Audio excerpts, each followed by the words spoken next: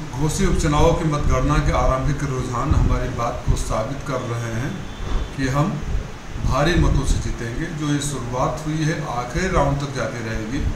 घोसी की धरती, संस्कृत वाली की धरती है, संस्कार की धरती है, गंगा जमनी तहजीब की धरती है। यहाँ बक बक बक बक बक करने वाले, राजनीति में घटिया भाषा का इस्तेमाल करने वाले, सत्ता के दो तीन ठगों के जो परिवार के साथ यहाँ घूम रहे थे, उनको आईना दिखाने का काम करेगा, उनके गाल पर तमाचा जड़ने का काम करेगा।